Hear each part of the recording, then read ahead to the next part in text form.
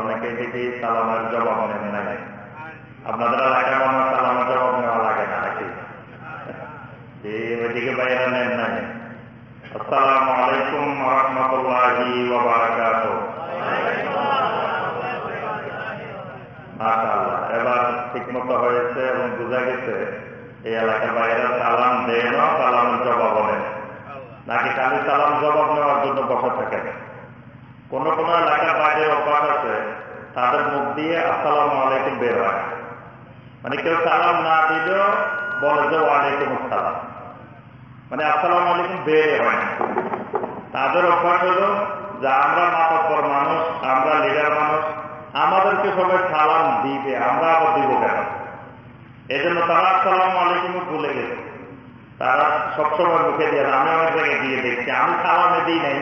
উনি বলতেছে ওয়ালাইকুম আসসালাম কেন তাদের মুখ দিয়ে আসসালাম আলাইকুম বেরে হয় না আলহামদুলিল্লাহ এই এলাকার ভাইয়েরা অনেক ভালো মানুষ অনেক দিনদার মানুষ তলহীন মানুষ আল্লাহ পাক সবাইকে কবুল করে নেন আমিন إن الحمد لله نحمده ونستعينه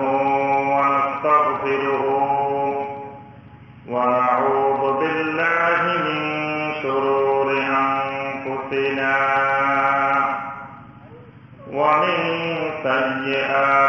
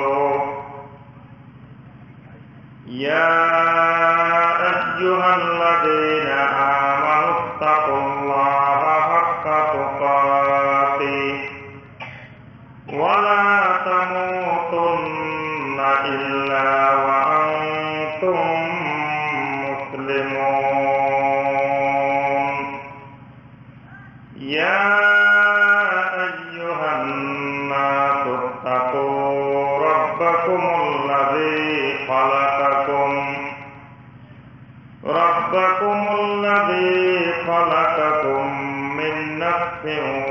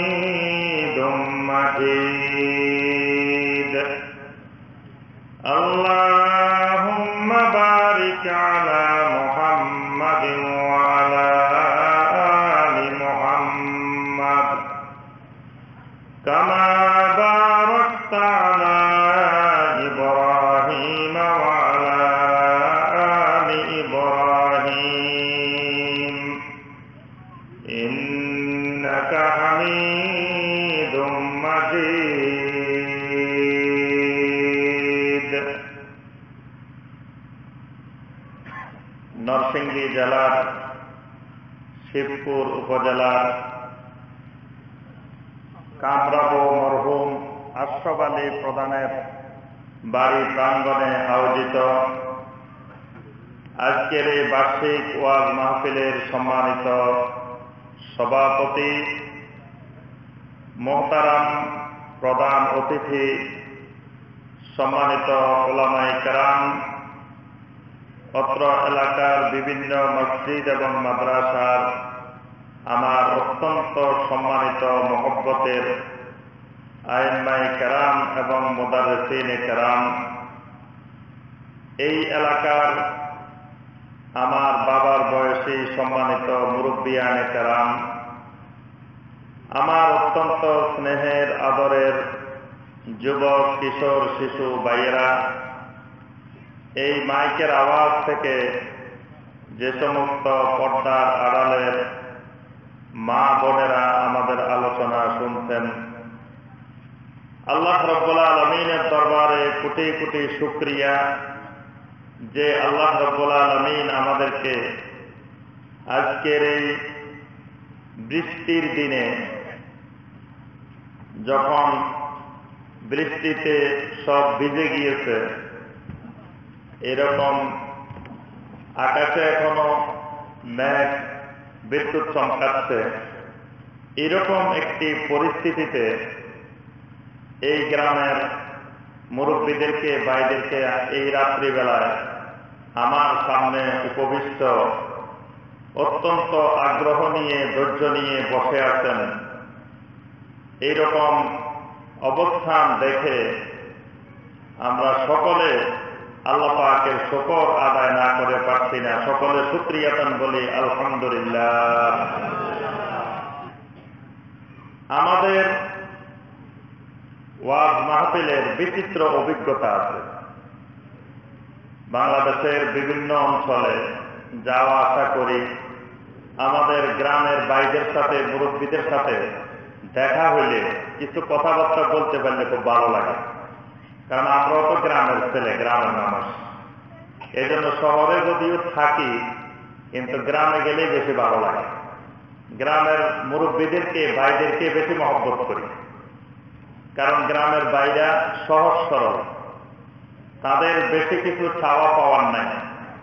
তাদের চাওয়া পাওয়া একটা। আমি অসংখ্য জায়গায় গিয়ে মুরব্বীদেরকে জিজ্ঞাসা করেছি, মুরব্বী আপনার সবচেয়ে বড় আকাঙ্ক্ষাটা কি? খাওয়া পাওয়া থেকে বলেন তো দেখি। তো বলো যে, চাচা, একটু দোয়া করবেন। আল্লাহ যাতে ইমানটা নিয়ে তৌফিক তো হ্যাঁ আল্লাহ আর ঢাকা শহরের একজন মুরব্বীকে জিজ্ঞাসা করেন যে, মুরব্বী, আপনার খাওয়া পাওয়া কি? বলবে যে, চাচা, বাড়ি তো দুইটা হয়েছে। আমি আরেকটা দশতলা বাড়ির কাজ শুরু করছি। যাতে কাজটা শেষ করে যেতে পারি। আরও পাঁচটা বাড়ি বানাতে পারি। এই হলো ওনার চাহিদা। আর গ্রামের মুরব্বীটার চাহিদা হলো, কি নিয়ে মরবে? ইমান নিয়ে মরবে তো হ্যাঁ তাহলে কোন চাহিদাটা সঠিক? যে মুরব্বী বলতেছেন, ইমানটা নিয়ে মরবেন ইমানটা নিয়ে দুনিয়া থেকে যেতে চান। এই মুরব্বীর যে আশা, এটাই হলো অরিজিনাল একজন মোমেনের আশা। তাহলে আমাদেরকে বেশি বেশি যাওয়া দরকার এই মুরব্বীদের কাছে। এবং এই মুরব্বীরা যে ইমানটা নিয়ে যেতে চান, এই ইমানটা যাতে বিশুদ্ধ ইমান হয়। এটা ভেজালওয়ালা ইমান না হয়। কারণ ভেজাল জিনিসে এখন বাজার ভরপুর। দেখবেন যে সব জিনিসের এখন নকল আছে। ডিমেরও নকল বাইরেছে ডিমের নকল দেখছেন?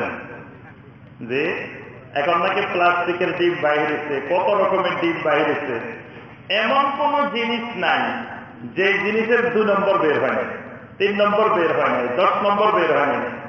তাহলে ইমানেরও এরকম দুই নম্বর ইমান তিন নম্বর ইমান চার নম্বর ইমান দশ নম্বর ইমানও বাইরে তাহলে আমার যেই মুরব্বীটা ইমানটা নিয়ে দুনিয়া থেকে যেতে চান, ওই মুরব্বীর কাছে গিয়ে সঠিক ইমানটা যে ইমানটা সাহাবাই কেরামের ইমান সেই ইমানটা বুঝাই দেওয়া সেই ইমানটা কি কি রোগে আক্রান্ত রোগগুলা ধরায় দেওয়া। এখান থেকে বড় দাওয়াতি কাজ। আল্লাহর জমিনে আর দ্বিতীয় কোনটি আছে বলে আমি মনে করি না। এই জন্য গ্রামে গিয়ে ওয়াজ মাহফিলে গিয়ে যত কষ্টই হোক ওই মুরব্বীদের সামনে, ওই বাইদের সামনে ইমান নিয়ে তৌহিদ নিয়ে সেরেক নিয়ে, সুন্নত নিয়ে, বেদাত নিয়ে কিছু কথা বলতে পারলে এটাই মনে করি আমার সবচেয়ে বড় দাওয়াতি কাজ মানুষ কম হইল না বেশি হইল? এটা আলোচনার মুখ্য বিষয়। আমি আলহামদুলিল্লাহ যে মসজিদে দিই, উত্তরা এগারো নম্বর সেক্টর বাইতুন্নুর জামা মসজিদ। এখানে প্রত্যেক জুমায় আমাদের মুসল্লি হয় দশ থেকে বারো হাজার। জুমার মুসল্লি। আর ঈদের জামাতের মুসল্লি হয় পনেরো হাজার। এবং প্রতি জুমায় দাম বাক্স থেকে আমাদের কালেকশন আছে এক লক্ষ ষাট হাজার, সত্তর হাজার, দুই লক্ষ পর্যন্ত এক জুমায় দাম বাক্সের কালেকশন আছে। আলহামদুলিল্লাহ, সেখানে দশ হাজার মানুষের সামনে জুমার খোদ্া পেশ করি। আবার কোন জায়গায় দশ জনের সামনেও আলোচনা করি। আরেকটা জিনিস আমি সবসময় গুরুত্ব দিয়ে দেখি, এক জায়গায় মানুষ দশ হাজার।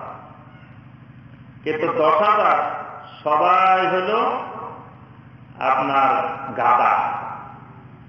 আরেক জায়গায় মানুষ দশ জন দশটা গোড়া। বলেন, আবার দশ হাজার গাদার দাম বেশি না দশটা গোড়ার দাম বেশি? কি বলেন কিছু বলে না দেখি। কারণ ওনারা চিন্তা করতেছে গোড়াও কোনোদিন পেশা কিনা করি নাই, গাদাও পেশা কিনা করি নাই।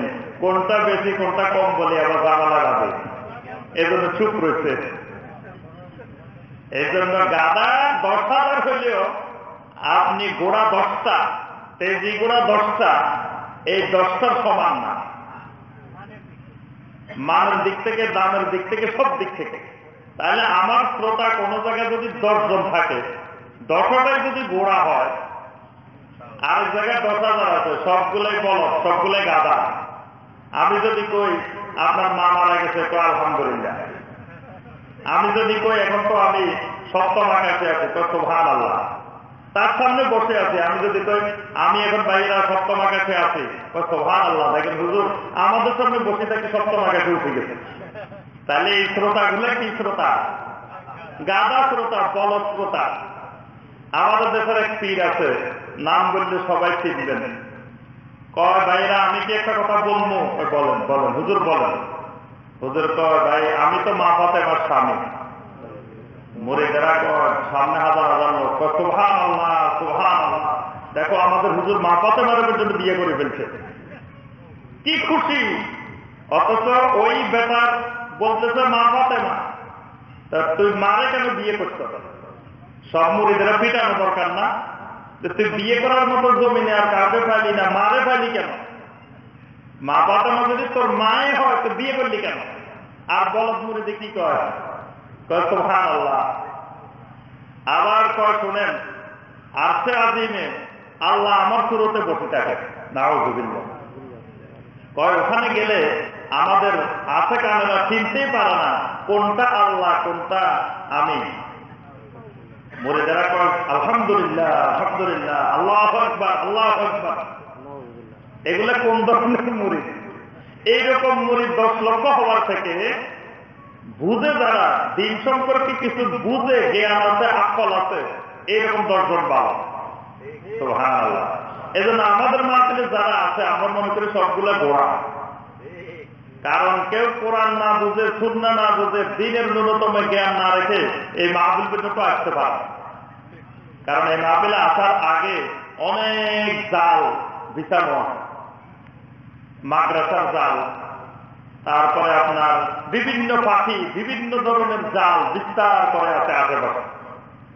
একজন আল্লাহর বান্দা সব জাল ছিন্ন করে এই মাহবিল পর্যন্ত পৌঁছায়, এটা সহজ ব্যাপার না। এই পর্যন্ত যে করতে পারছে, বুঝতে হবে বড় দামি গোড়া এই জন্য এইসব জাল ছিন্ন করে পৌঁছতে পারছে।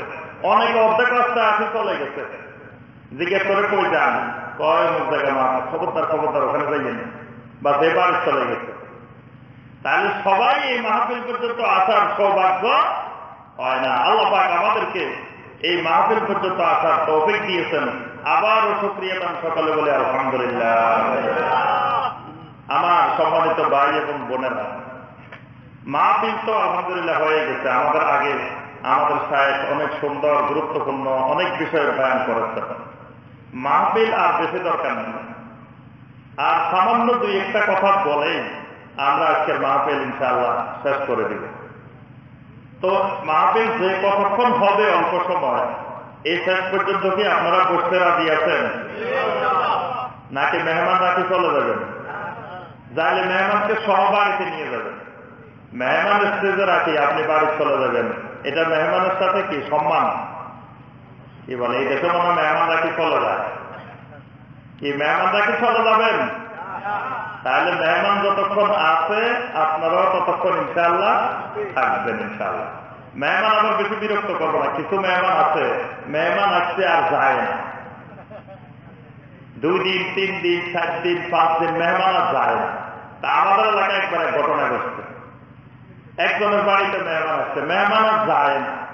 মেহমান যে আসছে দেখতে বাড়িতে কোনো আদর সমাদর সব আছে বাড়িতে আর কি করব, এখানে রয়ে তো থাকতে থাকতে একদিন বাড়িওয়ালা বলতেছে, ভাই, মেহমানের জ্বালা কাটতেছি না। মেহমান যে আসছে আর মেহমান যায় না। আরেকজন বলতেছে, ভাই, মেহমান দৌড়ানোর বুদ্ধি তো নিবে আমার থেকে। মেহমান কেমনে যায়, মেহমান পালানোর রাস্তা খুঁজে পাবে না। ওই বুদ্ধি তো তুমি জানো না। কেমনে দৌড়াইতে হবে মেহমান? শোনো, রাত্রে দুটা তিনটার সময় আমি তোমার বাড়িতে যাব।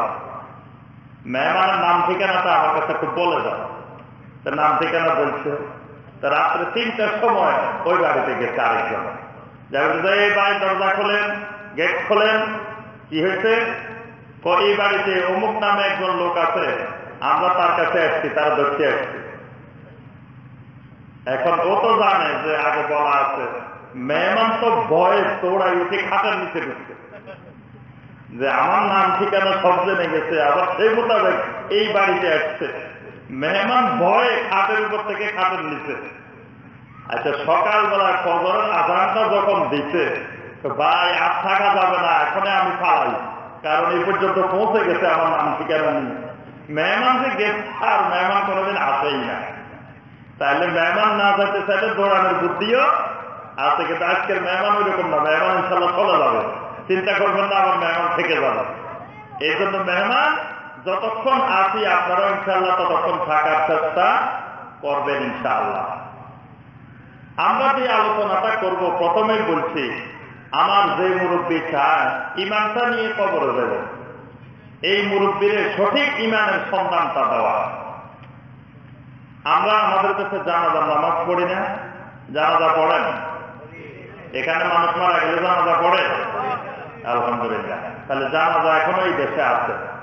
জানাজার ভিতরে আমরা একটা দোয়া পড়ি দোয়াটা কি আল্লাহুম্মা গফির লি হাইয়িনা ওয়া মাইয়িতিনা ওয়া শাহিদিনা ওয়া গায়িবিনা ওয়া সগীরিনা ওয়া কাবীরিনা ওয়া যাকারিনা ওয়া উনসানা اللهم من أحييته منا فأحيه على الإسلام ومن توفيته منا فتوفه على الإيمان কত সুন্দর দোয়া আল্লাহ রব্বুল আলমের কাছে আমরা দোয়া করতেছি আল্লাহুম্মা মান আহইয়াইতাহু মিন্না রব্বুল আলমিন আমাদের মধ্য থেকে যেই মানুষগুলাকে আপনি জীবিত রাখবেন যাদের দুনিয়াতে আরও কিছুদিন হায়াত বাকি আছে, আরও দুনিয়াতে বেঁচে থাকব।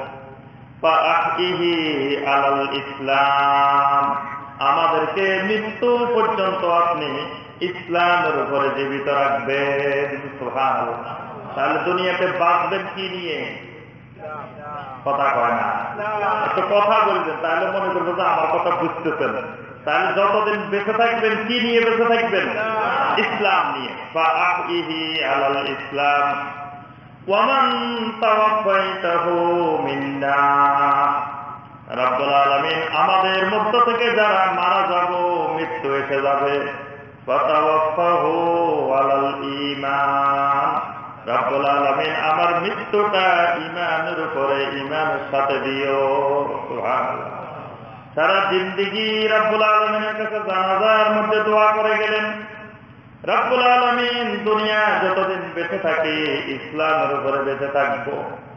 যখন মৃত্যু আসবে, যখন মালাকুল মাউত এসে যাবে, তখন আমার মৃত্যুটা ইমানের উপরে দিও। মৃত্যু যে ফেরস্তা মৃত্যুর জন্য আমাদের কাছে আসেন, ওই ফেরস্তাটার নাম কি? যে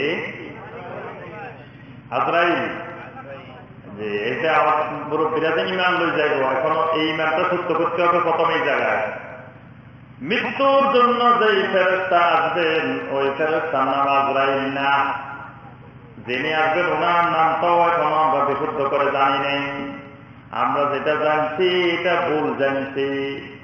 ওই ফেরস্তার নাম আজরাইল নয়, কোরআনে কারিমে। নবী ইসলামের কোন হাদিসে আজরাইল নামে কোন ফেরস্তার নামে আসে নাই। অথচ আমাদের দেশের প্রত্যেকটা নারী পুরুষ সবাই জানে, মৃত্যুর জন্য আসবে আজরাইল আলহিসালাম বড় বড় চারটা ফেরস্তা আছে।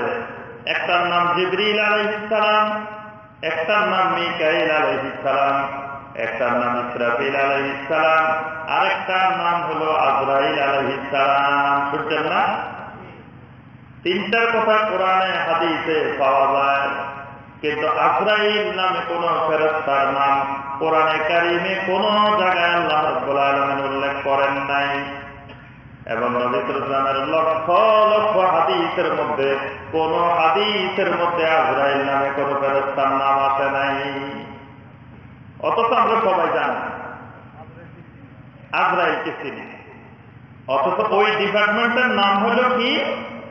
মালাকুল মাউত মালাকুল মাউত মালাকুল মাউত মানে মৃত্যুর ফেরস্তা قل إن الموت الذي تفرون منه فإنه ملاقيكم আল্লাহ রাব্বুল আলামিন বলেন মৃত্যু এমন এক জিনিস যেই মৃত্যু থেকে যত পালাও না কেন যত লুকানোর চেষ্টা করো না কেন মৃত্যু তোমার সাথে মোলাকাত করবে আর এই মৃত্যুটা সেই ফেরেস্তার মাধ্যমে মোলাকাত করে। ওই ফেরেস্তার নাম হলো মালাকুল মাও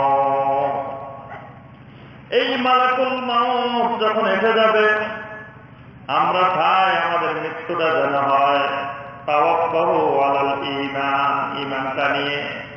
তাহলে আমার ভাইরা, এবং বোনেরা, আমার আপনার কাছে সবচেয়ে মূল্যবান, সবচেয়ে দামি যে জিনিসটা সেই জিনিসটা হলো ইমান সেই জিনিসটা কি? ইমান কারণ ইমানটা নিয়ে দুনিয়া থেকে যেতে চাই। যদি ইমানে না থাকে, তো নিবেনটা কি? ইমানে নেন তাহলে নিয়ে যাবেন কি? নেওয়ার মতো কিছু নেই। ইমান কি বাজারে কিনতে পাওয়া যায়? আমাদের দেশে ইমান বিক্রি হয় বাজারে। তো ইমান কিনবেন কোথা থেকে? যদি আমাকে আপনাকে দুনিয়ার কোন মানুষ বলে ভাই, তোমাকে এই পুরা বাংলাদেশের মালিক বানিয়ে দিব, পুরা বাংলাদেশ তোমাকে দিয়ে দিব। তুমি তোমার ইমানটা আমার কাছে বিক্রি করে দাও। কেউ বিক্রি করবেন নাকি? তাহলে আপনি বিক্রি করবেন না, বিক্রি করবেটাকে কোন মানুষ, কোন মুমিন, কোন মুসলিম রাজি হবে না তার ইমানটা বিক্রি করে দিতে। তাহলে এই ইমান বাজারে যাতে কিনতেও পাওয়া যায় না। যদি হারাই যেত, বাজারে আবার আরেকটা কিনতে পাইতেন। তো নতুন একটা ইমান কিনে ওইটা নিয়ে কবরে যাওয়া যাইতো। কিন্তু ইমান এমন এক জিনিস যেটা বাজারে কিনতেও পাওয়া যায় না। তাহলে ইমান এমন মহামূল্যবান জিনিস। এই মহামূল্যবান জিনিসটাকে যেভাবে হেফাজত করা দরকার, যেভাবে সংরক্ষণ করা দরকার, সবচেয়ে গুরুত্ব দিয়ে সংরক্ষণ করতে হবে। আমার ভাইরা এবং বোনেরা, যেই জিনিস যত দামি, সেই জিনিসকে আমরা তত বেশি সংরক্ষণের চেষ্টা করি। যে জায়গায় একশো টাকা, এক হাজার টাকা, দুই হাজার টাকা রাখি, সেই জায়গায় কোনোদিন দামি স্বর্ণ আমরা রাখি না। দামি স্বর্ণগুলা এমন জায়গায় লুকায়িত রাখি যে জায়গা থেকে খুঁজে বের করা মুশকিল। চোর আসলেও সহজে বের করতে পারবে না। ডাকাত আসলেও সহজে বের করতে পারবে না। এরকম এক গোপন জায়গার ভিতরে আমরা ওই মূল্যবান জিনিসগুলাকে লুকানোর চেষ্টা করি। আমার আপনার শরীরের মধ্যে লক্ষ্য করে দেখেন, যেই জিনিসটা যত বেশি দামি, আল্লাহ সেই জিনিসটাকে তত গোপন জায়গায় রাখছেন মানুষের শরীরের মধ্যে দামি জিনিস হলো ব্রেন। ব্রেনটাকে আল্লাহ রব্বুল আলমিন খোলা জায়গায় রাখেন নাই। কত আবরণ দিয়ে শক্ত শক্ত মাথার খুলি দিয়ে, কত কিছু দিয়ে ওই ব্রেনটাকে শক্ত এক জায়গার ভিতরে আল্লাপাক ঢুকাই দিতেন। যাতে সহজে মানুষের এই ব্রেনটা ক্ষতি না হতে পারে। মানুষের মূল্যবান জিনিস হাত, ওই হাতটাকে আল্লাহ রব্বুল আলমিন খোলা রাখেন নাই, এটাকে অনেক ভিতরে লুকাইতে রেখেছেন। মূল্যবান জিনিস হলো কাল। এই কালটাকে আল্লাহ রব্বুল আলমিন অনেক ভিতরে লুকাইতে রেখেছেন। দেখবেন সেই জিনিসটা যত বেশি দামি, সেই জিনিসটাকে আল্লাহ রব্বুল আলমিন তত বেশি গোপন জায়গায় সংরক্ষণ করেছে তাহলে আমার আপনার কাছে সবচেয়ে মূল্যবান, সবচেয়ে দামি জিনিস হল ইমান সুতরাং ইমানটাকেও যে কোনো জায়গায় রেখে দেওয়া যাবে না। ইমানটাকে যে কোনো জায়গায় ফেলে রাখা যাবে না। এই ইমান যদি চুরি হয়ে যায়, ইমান যদি ডাকাতি হয়ে যায়, আপনি বাজারে কিনতে পারবেন না। এই ইমান নিয়ে আপনি কবরেও যেতে পারবেন না। ইমান চুরি হওয়ার সম্ভাবনা আছে না? কি বলেন? ইমান কি চুরি হওয়ার সম্ভাবনা আছে? অবশ্যই আছে। আপনার আমার আছে পাশে কত ইমান চোর ঘুরে বেড়াইতেছে। আমার আপনার আশেপাশে কত ইমানের ডাকাত ঘুরে বেড়াইতেছে। একটু যদি সংযোগ পায়, একটু যদি আপনার খাম খেয়ালিপনা পায়, আপনার ইমানকে চির জীবনের জন্য ধ্বংস করে দিবে। আপনার ইমান তাকে পুরোপুরি নষ্ট করে দিবে। এইরকম ইমান চোরের অভাব সমাজে নাই, অভাব নাই। এজন্য সব সময় খেয়াল রাখতে হবে, ইমান তাকে কোনো অবস্থায় রেখে, একাকে রেখে বাইরে কোথাও যাবেন না। ইমান সবসময় সাথে ঢুকে রাখবেন, সাথে রাখবেন। যদি বলেন, ইমান, তোমাকে এখন বাথরুমে যাইতেছি। ইমান তোমাকে আমি বাইরে রেখে গেলাম, কারণ বাথরুম তো নাপাক জিনিস, নাপাক জায়গা। সুতরাং ইমান তোমার নিয়ে আমি বাথরুমে ঢুকতে পারব না, বাইরে রেখে গেলাম। দেখবেন, বাথরুম থেকে ঢুকে আপনার ইমান চুরি হয়ে গেছে, আপনার ইমান নাই। সুতরাং আপনি বাথরুমে যান, সেখানেও ইমান নিয়ে যাবেন। ইমান ভিতরে রেখে যাবেন ইমানকে বাইরে রেখে যাবেন না। এজন্য বাথরুমে ঢোকার সময় কোন পা দিয়ে ঢুকবেন? জি? ডান পা দিয়ে ঢুকবেন? বাম পা দিয়ে ঢুকবেন, এটাই ইমানের কাজ। বাথরুমে ঢুকার সময় দোয়া করবেন আল্লাহ এটা ইমানের কাজ। বাথরুমে ঢুকার পরে দাঁড়ায় দাঁড়ায় করবেন না, বসে বসে করবেন। দাঁড়ায় দাঁড়ায় কাজ সারাবেন নাকি? দাঁড়ায় দাঁড়ায় কাজ সারানো যাবে না, বসে বসে কাজ সারাইতে হবে, এটাই ইমানের কাজ। বসার সময় কোন দিকে ফিরে বসবেন? পশ্চিম দিকে ফিরে বসবেন? কথা কয় না, এই দেখে মনে পশ্চিম দিকে বসবেন। নাকি পূর্ব দিকে বসবেন? তাহলে পূর্ব দিকেও বসা যাবে না, পশ্চিম দিকেও বসা যাবে না এটা ইমানের কাজ, ইমানের দাবি। এরপরে ডান হাত দিয়ে পরিষ্কার করবেন না, বাম হাত দিয়ে পরিষ্কার করবেন? ডান হাত দিয়ে যদি করেন, ইমানের দাবি পূরণ হয় নাই। ইমানের দাবি আপনি বাম হাত দিয়ে পরিষ্কার, পরিচ্ছন্নতার কাজ করবেন। এরপরে আপনি টয়লেট থেকে বের হয়ে যাবেন, কোন পা দিয়ে বের হবেন? ডান পা দিয়ে বের হবেন। বের হওয়ার সময় কোন দোয়াটা পড়বেন যে গোপরানাক এই যে বাথরুমের ভিতরে ঢুকা আর বাহির হওয়ার ভিতরে কতগুলো শরীয়তের বিধিবিধান পাইলেন? এতগুলো শরীয়তের বিধিবিধানকে উপেক্ষা করে যদি বলেন, ইমাম, তুমি বাহিরে বসে থাকো, আমি একটু টয়লেটে নিজের ইচ্ছা মতো কাজ সারাইয়াছি। দেখবেন বাহিরে আপনার ইমান অন্য জায়গায়। শয়তান পাগুতেরা আপনার ইমান চুরি করে নিয়ে গেছে। এই জন্য টয়লেটে ঢুকেন, মসজিদে ঢুকেন, ঘুমানোর জন্য বিছানায় যান, যেখানেই যাবেন, যেই জায়গায় ঢুকেন, আপনার ইমানকে সাথে নিয়ে ঢুকবেন। ইমান কথাও রেখে যাবেন না। আবার কারও কাছে আমানত রেখে যাবেন না। ভাই আমি একটু দূরে যাইতেছি, নরসিংদী সফরে যাইতেছি। আমার ইমানটা একটু দেখে রাখিয়েন। এরকম কারও কাছে আমার রেখে আসতে পারবেন? তাও রেখে আসা যাবে না। আপনি নরসিংদী যান ইমান সাথে করে নিয়ে যেতে হবে। আপনি ঢাকা যান ইমান সঙ্গে করে নিয়ে যেতে হবে। আপনি চট্টগ্রাম যান ইমান সাথে করে নিয়ে যেতে হবে। আমেরিকা যান ইমান সাথে করে নিয়ে যেতে হবে। লন্ডন যান ইমান সাথে করে নিয়ে যেতে হবে।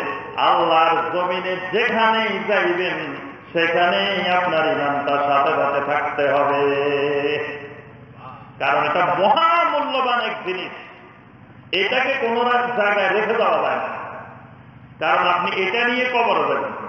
তাহলে কবরে কোথায় কবর যাবেন? এই কথা আপনি জানেন?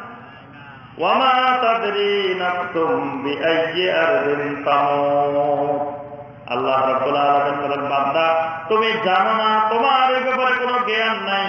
আল্লাহর জমিনে কোন জায়গায় তোমার মৃত্যু হবে, কোথায় তুমি মরবা, এই ব্যাপারে তোমার কোনো জ্ঞান নাই। এই জ্ঞান আছে কার কাছে? একমাত্র আল্লাহ রাব্বুল কাছে। বাংলাদেশের মানুষ কয়দিন আগে বিমান দুর্ঘটনায় মারা গেছে কোন জায়গায় গিয়ে?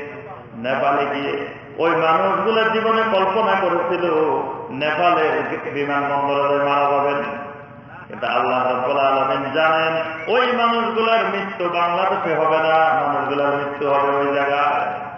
কত মানুষের মৃত্যু সাগরের মধ্যে হচ্ছে, কত মানুষের মৃত্যু নদীর ভিতরে হচ্ছে। কত মানুষের মৃত্যু বনে জঙ্গলে পাহাড়ে হচ্ছে, কত মানুষের মৃত্যু এমন জায়গায় হচ্ছে যে জায়গায় তার লাশটা পর্যন্ত খুঁজে পাওয়া যাচ্ছে না। তাহলে আপনি ওই নেপালে যাইয়ে মরতে পারেন। যদি আপনি সাথে করে ইমানটা না নিয়ে যান, বিমানে ওঠার সময় যদি বলেন, ইমান, আমি এক মুসলিম দেশে যাইতেছি, নেপালের মতো দেশে যাইতেছি, ইমানটা তুমি বাংলাদেশে থাকো। তোমাকে বাংলাদেশে রেখে গেলাম, আবার নেপাল থেকে আসলে তোমাকে আমি সাথে করে বাড়িতে নিয়ে যাব। তাহলে আপনি ইমানে নিয়ে যান না ইমান রেখে গেছেন, নেপালে গেছেন, মৃত্যু এসে গেছে। তাহলে কি ইমান নিয়ে কবর যেতে পারবেন? তাহলে আপনি জীবনে যত দোয়া করেন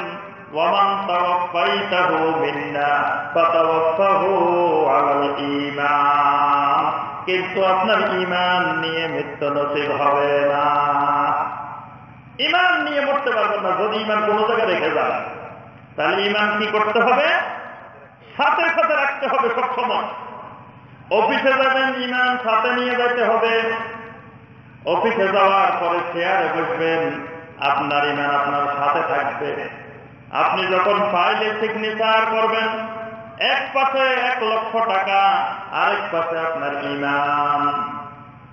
এক পাশে আপনাকে এক লক্ষ টাকা দিয়ে একটা ফাইলের ভিতরে সিগনেচার করাতে চায়, দশ লক্ষ টাকা দিয়ে সিগনেচার করাতে চায়, পাঁচ লক্ষ টাকা দিয়ে সিগনেচার করাতে চায়, আরেকদিকে আপনার ইমান বলতেছে, খবরদার, এটার নাম রেশোয়া এটার নাম ঘুষ, এটা হারাম, এটা যদি না তোমাকে জাহান নামে যেতে হবে।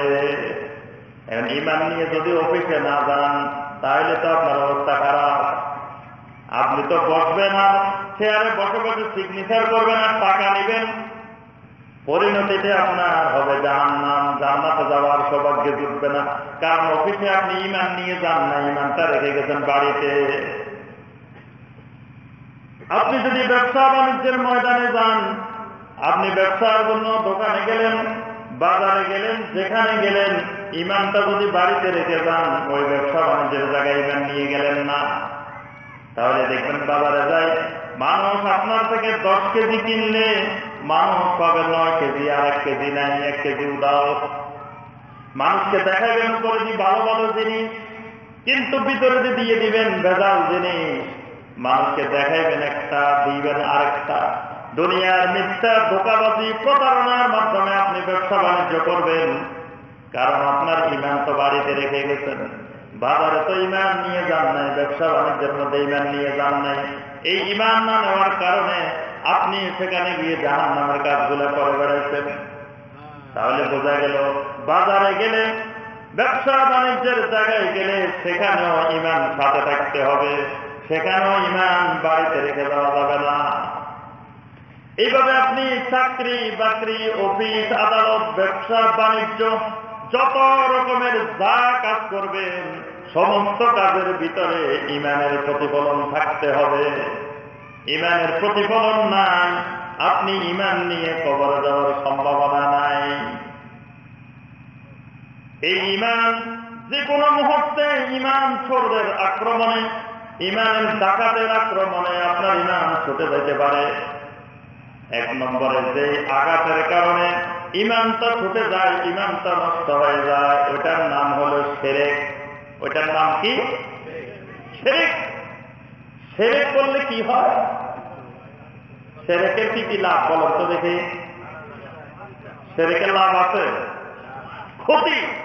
কিন্তু আল্লাহ পাক তিরস্কার করে লাভ বলছেন। যেমন আল্লাহ পাক অনেক জায়গায় জাহান নামের কথা বলছেন আজাবে আলিমের কথা বলছেন। কিন্তু আল্লাহ পাক বলছেন বাবা সেরহম আলিম। তাদেরকে আপনি সুসংবাদ দেন। কঠিন এক বেদনাদায়ক আজাবের কঠিন এক শাস্তির সুসংবাদ দেন। তো শাস্তির কি সুসংবাদ হয়নি? শাস্তির তো হয় দুঃসংবাদ। কিন্তু আল্লাহ তিরস্কার করে তাদেরকে বলতেছে সুসংবাদ দেন। তাহলে সেরেকের ক্ষতি হয়, লাভ হয় না। ক্ষতিগুলো শুনবেন কি কি ক্ষতি। সিরকের এক নম্বর ক্ষতি হল সিরকের কারণে আল্লাহ রব্বুল আপনার জন্য আল্লাহর জান্নাতকে হারাম করে দিবেন। আল্লাহর জান্নাত আপনার জন্য হারাম হয়ে যাবে। আল্লাহ কোরআনে কারিমে সূরা আল মায়দার 72 নম্বর আয়াতে কারিমে সরাসরি আল্লাহ রাব্বুল আলামিন ঘোষণা দিয়ে দিয়েছেন, ইন্নাহু মান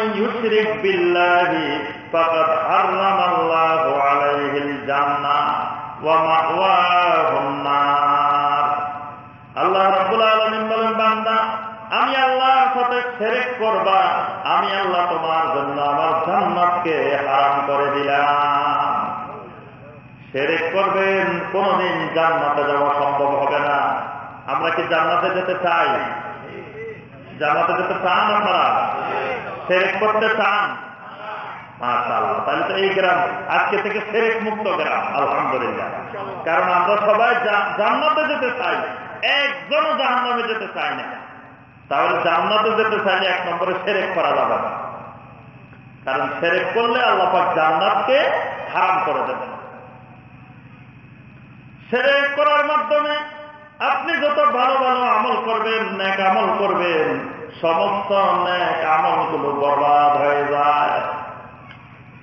যত ন্যাক আমল করবেন, সমস্ত ন্যাকগুলো ধ্বংস হয়ে যায়। সেরেক যত বেশি করবেন, সেরেক হলো মাইনা। আর এবাদত বন্দেগি, তৌহিদ হলো প্লাস প্লাসে আর মাইনাসে দিলে কি হয়? ওরে আল্লাহ দেখে তো বীজগণিত জানে দেখি। বীজগণিতের অঙ্ক জানে সবাই প্লাসে আর মাইনাসে কি? মাইনাস তাহলে আপনি নামাজও পড়ছেন, সেরেকও করছেন সমান সমান কি? সমান সমান জিরো পাইছে আমাদের সমাজে অসংখ্য ভাই বোনকে দেখা যায়। এখানে নামাজ পড়ছে আবার বাইরে যায় ফাঁসে যায় ফেরেক করে। তাহলে নামাজ পড়ে আপনি প্লাস করলেন ফেরেক করার দ্বারা মাইনাস করে ফেললেন। এই দুটার মাত্রাটা প্লাস মাইনাস মাইনাস হয়ে গেছে। আপনি জীবনে কত নামাজ পড়লেন? কেমতের ময়দানে যাই দেখবেন, ওরে আমার আমল নামে কোনো নামাজ নাই। কেন নাই? আপনি সেরেক করছেন। কারণ সেরে করলে সমস্ত আমল বরবাদ হয়ে যায়। আল্লাহ রব্বুল আলমিন জুমারের 65 নম্বর আয়াতে কারিমা ঘোষণা দিয়েছেন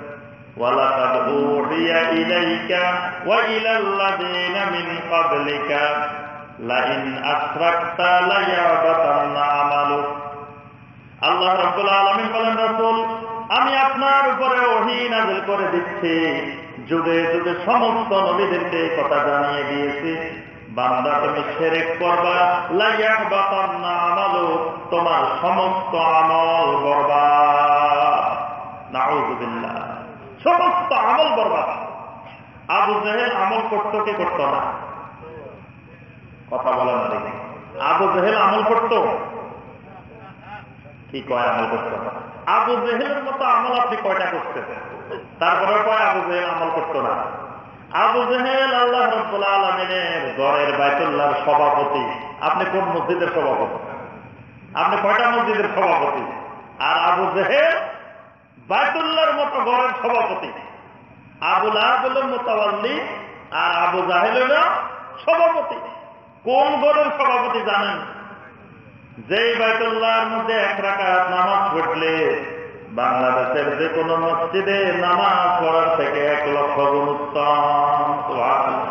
এখানে শিবপুরের মসজিদে এক লক্ষ রাকাত নামাজ পড়বেন, বাইতুল্লাহর মধ্যে গিয়ে এক রাকাত নামাজ পড়বেন।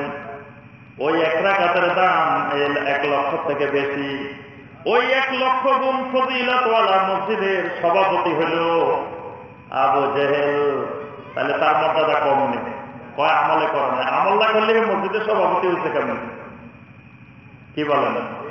এরপরে আবু জেহেল প্রতি বছর হজ্জে বাইতুল্লাহর সময় হাজিদেরকে পানি পান করাইতেন, হাজিদের খাওয়ার ব্যবস্থা করতেন, হাজিদের থাকার ব্যবস্থা করতেন। আল্লাহর মেহমানদের খেদমত করা কত বড় ফজিলতের কাজ? এটা আমল না? হাজিদেরকে পানি খাওয়ানো আমল না, হাজিদেরকে খানা খাওয়ানো আমল না, হাজিদেরকে তাবু টাঙ্গাই দেওয়া, থাকতে দেওয়া, আরামে ব্যবস্থাপনা করা, এটা কত বড় আমল। এই আমল আবু জেহেল করে নাই। আবু জেহেল যখন বদরের যুদ্ধে রওনা দেয় হাতে আবু জেহেল বাইতুল্লাহর বিরাট ধরে আল্লাহ রব্বুল চোখের পানি বেলে দোয়া করছে। আয় আল্লাহ রব্বুল আলমিন, ও বাইতুল্লাহর মালিক আজকে মোহাম্মদ রসুল্লাহ সাল্লামের বিরুদ্ধে যুদ্ধ করার জন্য রওনা দিচ্ছি কারণ হলো, দীর্ঘদিন ধরে আমরা নবীর বংশ, আমরা আওলাদের রসুল। আবু জেহেল কিন্তু নিজেকে আওলাদের রসুল বলতো। আওলাদের রসুল কেমন আওলাদের রসুল ঠিক আছে কিনা আবু জেহেল? বলেন তো দেখি। আবু জেহেল কি আওলাদের রসুল? এটা ঠিক আছে? কথা কয় না। ঠিক নেই কি করছে আবু জেহেলেরা ইব্রাহিম আল ইসলামের বংশধর। ইসমাইল আল ইসলামের বংশধর। তো এরা আল্লাহ রসুল না? এরা তো রসুলের বংশধর। এরা ইব্রাহিম আল ইসলামের বংশধর। ইসমাইল আলহ ইসলামের বংশধর। এত বড় নবীর বংশধর, তাও কয় আল্লাহ রসুল না। আমাদের দেশে কত আল্লাহ রসুলের ব্যবসা চলতেছে? যাদের সাথে রসুলের সম্পর্ক আছে কিনা তারও কোনো ঠিক নেই। নামের আগে আল্লাহ রসুল লাগাইতে পারলে ব্যবসা জমজমা আর ওরা কিন্তু অরিজিনাল আওলাদ রসুল যে ব্যাপারে কোনো সন্দেহ নেই। কারণ বাইতুল্লাহর মক্কার সব মানুষ কার বংশধর? ইসমাইল আলাহ ইসলামের বংশধর, ইব্রাহিম আলাহ ইসলামের বংশধর। তা আবু জেহেল কি আওলাদ রসুল না? তাও কয় বললাম যে কোন সন্দেহ নাই। একেবারে একশো পার্সেন্ট শিওর যে এরা ইব্রাহিম আলাহ ইসলামের বংশধর, এরা ইসমাইল আলহ ইসলামের বংশধর। এই জন্য আবু জেহেলরা তারা মনে করতো আমরা আল্লাহ রসুল আবু জাহেল আল্লাহ রব্বুল আলমিনের কাছে দোয়া করে, রব্বুল আলমিন, আমরা আল্লাহ রসুল, ধর্মের ঠিকাদারি, দিনের ঠিকাদারি তুমি তো আমাদেরকে দিত আমরা বাপদাদা থেকে পূর্বপুরুষ থেকে যেই দিন নিয়ে বড় হয়েছি, যেই দিন নিয়ে জীবন যাপন করতেছি এই মোহাম্মদ আমাদের বাতিটা নতুন ফেতনা নিয়ে নতুন ভাবে এসে আমাদের বাপদাদার ধর্মটাকে চল্লিশ বছরের সাজানো সংসারটাকে পুরোপুরি ধ্বংস করে দিতেছে। এত সুন্দর করে আমরা মুখটায় সাজাই রেখেছি ধর্মটাকে। সেই সাজানো ধর্মটাকে, সাজানো ঘরটাকে এই মোহাম্মদ রসুল্লাহ এসে পুরো ধ্বংস করে দিচ্ছে। এই জন্য তোমার দিন রক্ষা করার জন্য বদরের ময়দানের দিকে রওনা দিলাম। রব্বুল আলমিন আমাদেরকে বদরের ময়দানে বিজয় দান করিও। কার দোয়া? আবু জেহেলের দোয়া। কয় আবু জেহেল আমল করে না তা এটাতে বড় আমল কি? বাইতুল্লাহর গিলাপ ধরি আল্লাহর কাছে কান্দে কান্দে দোয়া করতেছে, এটা আমল না? কি বলেন? আচ্ছা এত আমল করি আবু জেহেল, জান্নাতি না জাহান্নামি? কেন জাহান্নামি? কারণ হলো আবু জেহেলের যে ভালো কাজ যা করছিল, সবগুলো ছিল প্লাস কিন্তু এর পাশাপাশি আবু জেহেল যে সেরেক করত, সেগুলা ছিল মাইনাস যা ভালো কাজ করছে প্লাস আর মাইনাসে মিলে শেষে মাইনাস হয়ে গেছে প্লাস ছিল না। কারণ তার ইমান ছিল না, ইমানে গন্ডগোল ছিল। ইমান সমস্যা। এই জন্য আল্লাহ রব্বুল আলমিন বলেন যদি তুমি সেরেক করো, তোমার সমস্ত আমল বরবাদ হয়ে যাবে। সমস্ত আমল তোমার ধ্বংস হয়ে যাবে। আল্লাহ রব্বুল আলমিন সমস্ত গুণা মাফ করে দিতে পারেন, কিন্তু সিরকের গুণা আল্লাহ রব্বুল আলমিন মাফ করেন না। আল্লাহ কোরআনে কারিমের অনেকগুলো আয়াতে এই ঘোষণা দিচ্ছেন আমি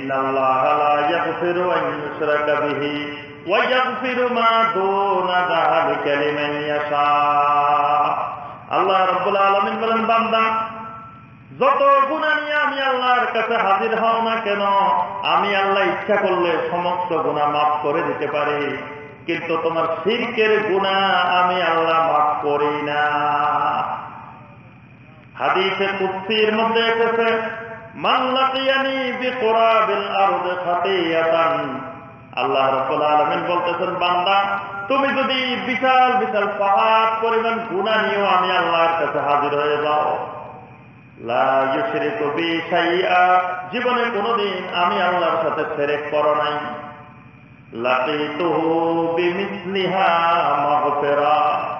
আল্লাহ রাব্বুল আলামিন বলেন যে বিশাল বিশাল গুণা নিয়ে পাহাড় পরিমাণ, সমুদ্র পরিমাণ, যত বড় গুণা নিয়ে আমি আল্লাহর কাছে হাজির হও না কেন, আমি আল্লাহ সেই পরিমাণ মাকপেরাত নিয়ে তোমার সাথে মোলাকাত করব। আল্লাহ কত বড় গাফুর রাহিম, রহমান রাহিম। কিন্তু শর্ত একটা, সেটা কি? লা ইউশরিকু বি শাইআ খবরদার আমি আল্লাহর সাথে জীবনে শেরিক করিও না। আমল কম করেন আর বেশি করেন, খবরদার জীবনে শিরকের সাথে কোনোদিন জড়িত হবেন না। তাহলে আল্লাহ পাকের পক্ষ থেকে মাফরত পাওয়ার আশা করতে পারেন। আমল কম করেন। আপনি সাবজেক্ট হলো দশটা, প্রতি সাবজেক্টে চল্লিশ করে পাইলেন। দশ সাবজেক্টে চল্লিশ করে পাইছেন। আপনি পাঁচ না পেলেন আর দশ সাবজেক্টের মধ্যে পাঁচ সাবজেক্টে আপনি আশি, পঁচাশি, নব্বই করে পাইছেন। আর পাঁচটা সাবজেক্টে আপনি দশ পাইছেন, পনেরো পাইছেন, বিশ পাইছেন। তাহলে আপনি পাঁচ না ফেল। তাহলে আপনি ওই পাঁচ সাবজেক্টে নব্বই না গিয়ে বাকি পাঁচ সাবজেক্টে আপনি লেখাপড়া বাড়াই দেন, আমল বাড়াই দেন। বাড়াই সবগুলারে চল্লিশের মধ্যে নিয়ে আসেন। তাহলে আপনি নাজাদ পাওয়ার আশা করতে পারেন। কিন্তু কয়েকটা আপনার একেবারে নব্বই, আর কয়েকটা যদি দশ হয়, আপনি ফেল এজন্য অনেক ভাই যখন নামাজে পড়ে না, আমরা প্রথমে তার নামাজের দাওয়াত দিতে যাই, বলি, ভাই, আসেন, এসা নামাজটা পড়েন। ওই ভাই ভাই এসার নামাজ কয় রাখা আমরা কই, ভাই এসার নামাজ সতেরো রাখা আপনাদের নরসিং দিতে কয় রাখা এসার নামাজ কয় রাখা সতেরো রাখাতেই এই দেশেও সতেরো রাখা জি? বলো না দেখি। কয় রাখা আপনাদের দেশে এসার নামাজ সতেরো রাখা। তো সতেরো রাখাতের কথা যখন কোন নতুন মানুষ শুনে ওই আল্লাহর বান্দা চিন্তা করতে থাকে, সতেরো টাকার নামাজ পড়তে আমার আধা ঘণ্টা সময় লাগবে। আরও বেশিও লাগতে পারে। সুতরাং নামাজের কাছে যাওয়া যাবে না। যদি ওই ভাইকে বুঝাই দেন যে ভাই এসার নামাজ মাত্র চার রাকাত, যে ভাই আপনি এসার নামাজটা পড়ে যান, এই আল্লাহর বান্দা মনে করবে চার রাকাত নামাজ পড়তে বেশি সময় লাগবে না, হয়তো পাঁচ মিনিট লাগতে পারে। এই আল্লাহর বান্দা নামাজটা শুরু করল। কয়েকদিন শুধু ফরজ পড়ল, বললেন যে আপনি সুন্দর পড়ার দরকার নাই, খালি ফরজটা পড়েন। দেখবেন কিছুদিন পড়তে পড়তে নামাজ এমন মজা লেগে গেছে, আল্লাহর বান্দা আবার শূন্যত থাকবে না, নকলও থাকবে না। তাহাজ্জুদ পড়া শুরু করে দিবে একরাতও পড়া শুরু করে দিবে, সব পড়া শুরু করে দিবে। প্রথমেই যদি ভয় লাগাই দেন, যে জোহরের নামাজ বারো রাখা এসার নামাজ সতেরো রাখা আসরের নামাজ আট টাকা এই আল্লাহর মতো তো ভয় না আমাদের কাছে আসবে। আমরা অনেকে এই দাওয়াতের পদ্ধতি জানি না। আমরা প্রথমে কারণ রাস্তায় পাইছি, টান মেরে ভাই আসার নামাজ পড়ি। দাওয়াতের পদ্ধতি এটা দাওয়াতের পদ্ধতি হলো, আপনি কোন আল্লাহর বান্দা নামাজ পড়ে না বেনামাজি আপনি চিন্তা করলেন, আল্লাহর এই বান্দাকে নামাজ বানাইতে হবে। মসজিদের দিকে নিয়ে আসতে হবে, চেষ্টা করতে হবে। আপনি প্রথমে কয়েকদিন খালি খাওয়াতে থাকবেন, কি করবেন? কথা বলো না সব বাইরে আমার পকেট থেকে টাকা বাইরেতে এই জন্য খাওয়ানোর কথা কেউ কয় না, দেখেন। বেনামাজিরে প্রথম কেমনে? খালি খাওয়াইবেন। নামাজের কথা বলবেন না। প্রতিদিন চা দোকানে নিয়ে যাবেন, হোটেলে নিয়ে যাবেন, রেস্টুরেন্টে নিয়ে যাবেন, বাড়িতে নিয়ে যাবেন। খালি খাওয়াইতে থাকবেন? এক সপ্তাহ, পনেরো দিন, এক মাস খাওয়াইবেন। খাওয়াইতে খাওয়াইতে একদিন ওই খাবারের মুহূর্তে যখন দেখবেন আজান দিয়ে দিতে আজান আজান বলবেন যে ভাই চলেন আজকে নামাজটা পড়ে আসি আল্লাহর বান্দা বলতে পারবে না যে আমি নামাজ পড়তে যাব না। এই কদিন যে খাওয়াইছেন, এই খাওয়ানোর লজ্জায় এই লোক কিন্তু বলতে পারবে না যে আমি নামাজে যাব না। কি বলতে পারব? বলতে পারব হয়তো সর্বোচ্চ এতটুকু বলতে পারে যে, ভাই, আমার লুঙ্গি তো পাক নাই। কারণ বেনামাজি এদের লুঙ্গি সবসময় না থাকে জীবনে পাক পায় না। সবচেয়ে একটাই ওজন করবে ভাই, আমার কাপড় চোপড় পাক নাই। আপনি বলতেন যে ভাই কয়দিন কাপড় চোপড় নাপাক নিয়ে নামাজ পড়েন। কোনো অসুবিধা নাই। এক সময় নাপাক নিয়ে পড়তে পড়তে কাপড় পাক হয়ে যাবে, অসুবিধা হবে না। তাহলে দেখবেন লজ্জা করে হইলেও নামাজ পড়তে যাবে। যখন মসজিদ পর্যন্ত পৌঁছায় দিলেন, আপনি আল্লাহ রব্বুল আলমিনের কাছে কান্না শুরু করেন, রব্বুল আলমিন, তোমার পথ হারা বান্দারে, তোমার ঘর পর্যন্ত হাজির করে দিচ্ছি। আল্লাহ এরপরে সামনের দিকে কোন দিকে নিয়ে যাবা? সেটা তুমি আল্লাহর হাতে তুলে দিলাম, তুমি নিয়ে যাও। আপনি আল্লাহর মসজিদ পর্যন্ত নিয়ে আল্লাহর হাতে তুলে দেন। তুলে দিয়ে আল্লাহর কাছে কান্নাকাটি করেন, আল্লাহ, তোমার হাতে এই ঘরের মধ্যে আনে দিচ্ছি এবার তুমি তার হেদায়ত। না, আমরা দাওয়াতের পদ্ধতি জানি না। প্রথম দিনই ধরি ভাই আসেন, নামাজ পড়তে আসেন, ভাই নামাজ পড়তে আসেন, ভাই নামাজ পড়তে একদিন পকেট থেকে একটা টাকাও বের হয়। আল্লাহ রসুল যত মানুষকে দাওয়াত দিতেন রাত্রিবেলা তাহাজ্জুদের নামাজের নাম ধরে ধরে কান্নাকাটি করে দোয়া করতেন।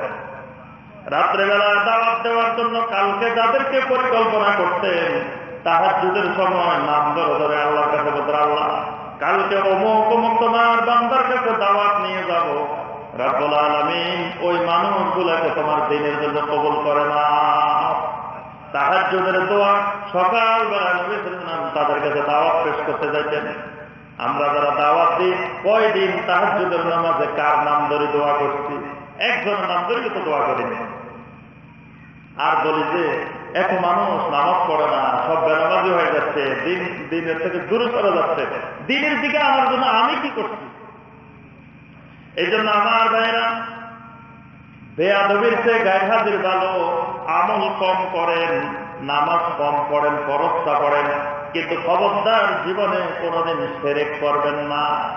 সেরেক করবেন, যা আমল করলেন, দিনে নামাজ পড়ছেন পঞ্চাশ টাকা এসার নামাজের পরে যাই সেরেক করা শুরু করে দিচ্ছেন ওই পঞ্চাশ টাকাতে বরবাদ। আর সারাদিনে নামাজ পড়ছেন ফরজ নামাজ সতেরো টাকা কিন্তু আপনি সেরেক বিহীন তাওহিদের উপরে যাই ঘুমাইছেন ওই সতেরো টাকার সতেরো টাকাতে রয়ে গেছে। তাহলে সতেরো টাকা ভালো না পঞ্চাশ টাকা ভালো? পঞ্চাশ টাকা পড়ি, সেরেক করছেন তো পঞ্চাশ টাকা সবই চলে গেছে। আরেকটা হলো, সতেরো টাকা পড়ছেন ফরজ, কিন্তু সেরেক করেন নাই। আমাদের দেশে অনেকে বলে সৌদি আরব দেখে আসছি। মানুষগুলো সুন্দর করে না, নকল করে না, খালি পরস্পরই দৌড় মারে। এরকম শুনছেন না? সৌদি আরব থেকে আসলে অনেকে গল্প করে। সৌদি আরব দেখি আসছি। খালি পরস্পরই দৌড়তে শূন্য তো পড়ে না নকলও পড়ে না। ওই আল্লাহর বান্দা শুধু দৈনিক সতেরো টাকা ফরজ নামাজ যদি পড়ে, ওই আল্লাহর বান্দা কোনো সেরেক করে না। আর আপনি, আমি বাঙালি, পঞ্চাশ টাকার নামাজ পড়ছি, সেরেকও করছি পঞ্চাশটা। তাহলে আমার এই পঞ্চাশ টাকাতের থেকে ওই সৌদি আরবের ওই মানুষটার সতেরো টাকাটা অনেক গুরুত্ব কারণ তাদের আমলের মধ্যে সেরেক নাই। তাদের আকিদার মধ্যে সেরেক নাই। আমার আপনার আকিদার সেরেক আমলের সেরেক। তা আমল করি এত কিছু করে কি করবেন? তো বরবাদ। আমার ভাইয়েরা এবং বোনেরা, এবার আসুন আমরা সেরেক কিছু পরিচিতি দিই। কোনটা কোনটা সেরেক দরকার আছে না? কারণ আমাদের বাঙালির অভ্যাস হলো, যত সূত্র বলবেন কাজ হবে না, খাওয়াই দিতে হয় খাওয়াই না দিলে হয় না। প্রথমে নাম শুনলে আর কথা বললে সেরেক বুঝে না। কোনটা কোনটা সেরেক এটা ধরায় দিলে আলহামদুলিল্লাহ বুঝে যায়। আগে এক সময় আমাদের দেশে হুজুরেরা পড়াইতো আলি বে, তে, সে, পড়াইতো না? মুরব্বীরা এইভাবে পড়ছেন না? এখন আমরা করতেছি না, এটা ভুল। এখন পড়তে হবে কেমনে?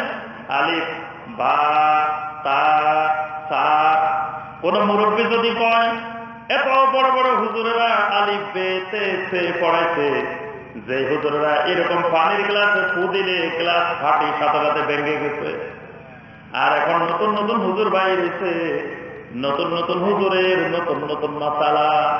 নতুন নতুন হুজুর বাইরে কয়, এখন আলিফ বেতেছে পড়া যাবে না। এখন নাকি আলিফ বা তা তা পড়তে হবে, আমি এটা পড়ব না। তাহলে কি মুরব্বীর কথা ঠিক আছে? ঠিক নাই। মুরব্বী যদি বলে, আমার বাপদাদা সদ্য গোষ্ঠী, জীবনে কোনোদিন এই নরসিংদী থেকে ঢাকা কোনোদিন বাসে করে ট্রেনে করে যায় নাই। আমার বাপদাদারা হাঁটি হাঁটি গেছে। আমি বাসে উঠবো না ট্রেনে উঠবো না। বাপদাদারা সামনে গেছে, আমি অন্য যাব এই মুরব্বীরা আপনারা কি বলবেন? পাগল বলবেন। হজে যাব আমার বাপদাদা চোদ্দ গোষ্ঠী সাগরে দি পানির জাহাজে দিয়ে গেছে।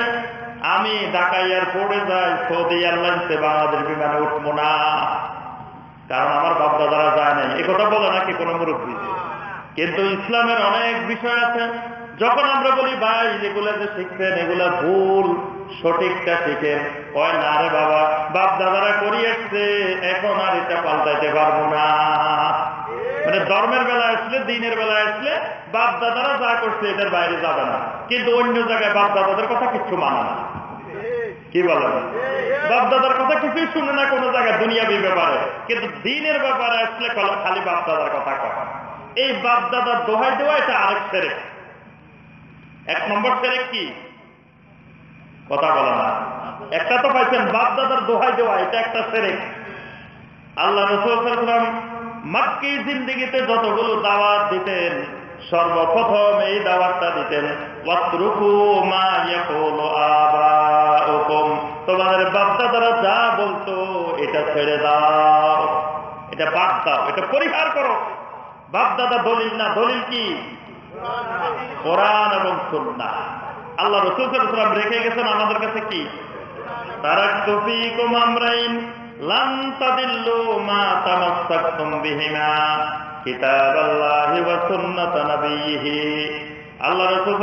আমার আমি তোমাদেরকে রেখে চলে যাচ্ছি।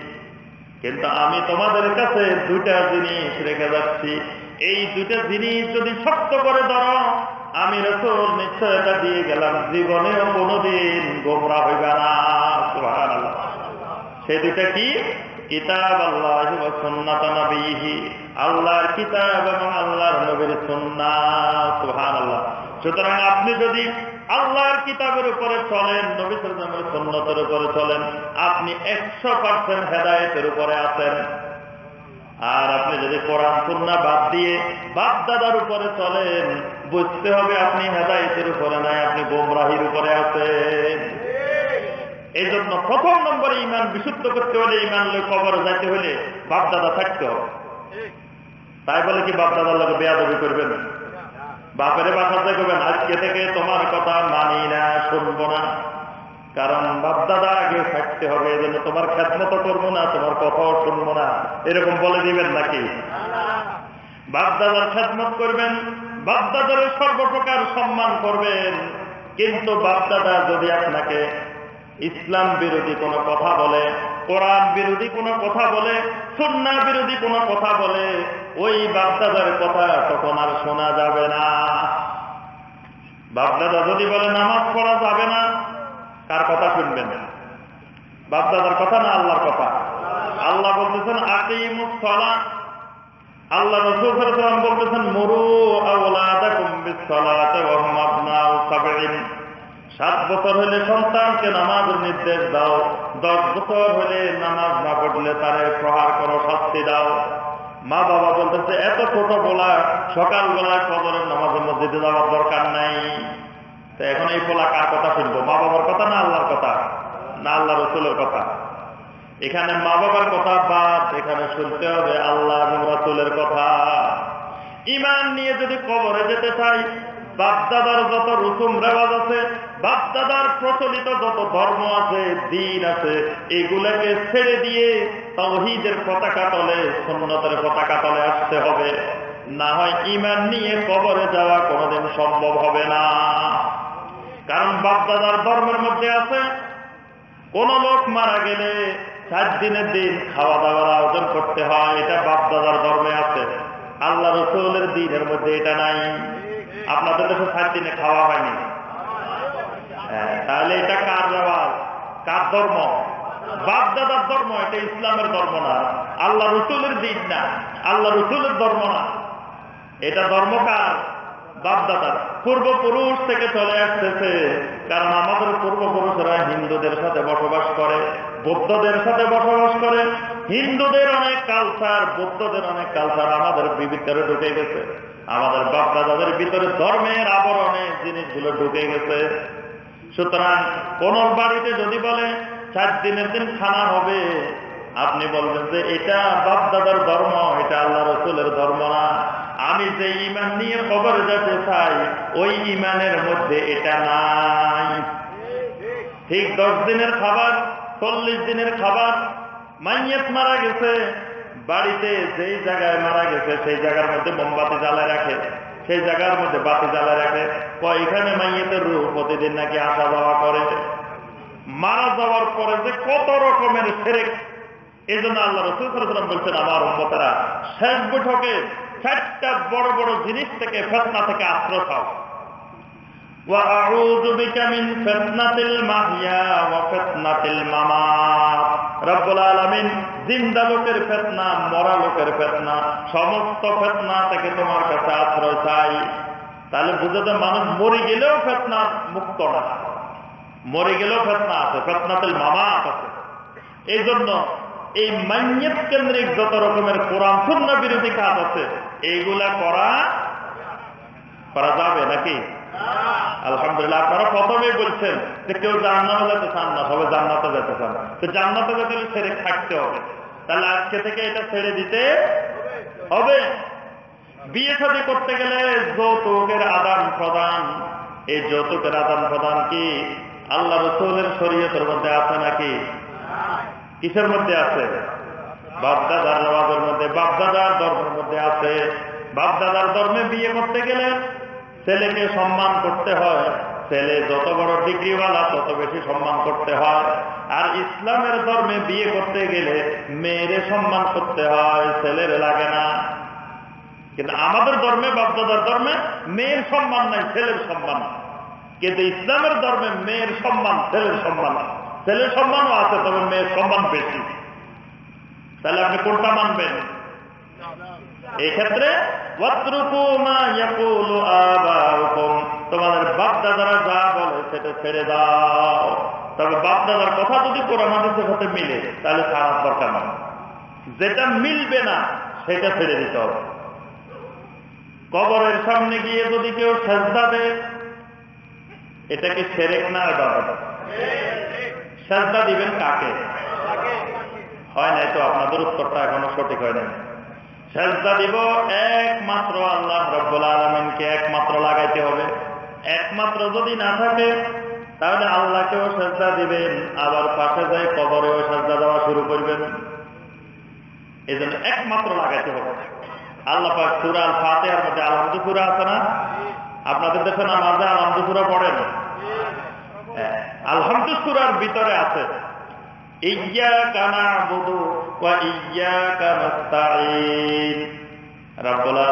একমাত্র গোলামি করি এবাদত করি আপনার। একমাত্র সাহায্য চাই আপনার কাছে। দুই জায়গায় কিন্তু ইয়াকা ইয়াকা আছে। আছে না? এই ইয়াকা মানে কি? ইয়াকা মানে হলো অনলি ফকাত একমাত্র।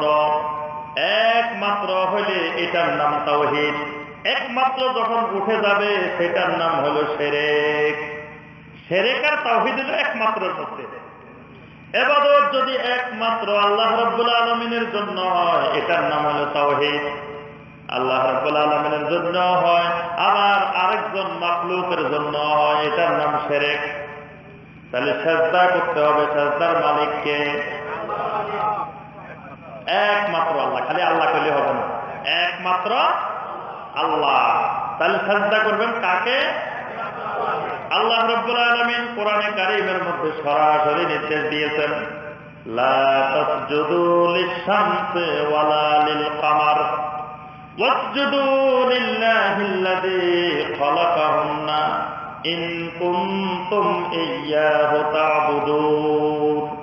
আল্লাহ রাব্বুল আলামিন বলেন, বান্দা খবরদার, এই সূর্যকেও কোনোদিন সাজদা করিও না। এই চন্দ্রকেও কোনোদিন সাজদা করিও না। চেষ্টা করবা ওই আল্লাহ আলামিনকে, যিনি এই চন্দ্রকে সৃষ্টি করেছেন, এই সূর্যকে সৃষ্টি করেছেন, সমস্ত মাখলুকাতকে যিনি সৃষ্টি করেছেন। তাহলে কোন মাখলুকের চেষ্টা করা যাবে না। চেষ্টা করতে হবে কাকে? একমাত্র খালেক। সমস্ত মাখলুকের যিনি খালেক, যিনি মালিক, সেই আল্লাহ রব্বুল আলমিনকে চেষ্টা করতে হবে। কিন্তু আমার দেশের অসংখ্য লক্ষ লক্ষ ভাই বোন প্রতিদিন আমরা দেখি বিভিন্ন কবরের সামনে গিয়ে, মাজারের সামনে গিয়ে মরা মানুষ, মরা কবরের মধ্যে যিনি শুয়ে আছেন ওনার সামনে যায় যে সেজদা দিতেছে। আবার অনেক জায়গায় জিন্দা পীর বসে আছে, জিন্দা বলি বসে আছে, তাকেও যায় মানুষ সেজদা দিতেছে। ওই জিন্দা মানুষের সেজদা দেওয়া এটাও সেরেক। ওই মৃত মানুষকে সেজদা দেওয়া এটাও সেরেক। এই সেরে করলে আপনি যত নামাজ পড়েন, যত আবাদত করেন, আল্লাহর জান্নাত পাওয়ার সম্ভাবনা নাই। সেরেক করবেন, আবার ইমান নিয়ে কবরে যাবেন, কেমনে হবে? কারণ সেরেক করলে ইমান নিয়ে কবরে যাওয়া যায় না। এই জন্য কোনো জায়গায় সেজদা দেওয়া যাবে না। সেজদা দিতে হবে কাকে? একমাত্র আল্লাহ রব্বুল আলমিনকে। আমার আপনার তাওয়াক্কুলের ভরসা করার একমাত্র জায়গা কার কাছে? একমাত্র আল্লাহ রব্বুল আলমের কাছে। তাহলে তাওয়াক্কুল করবেন কার উপরে?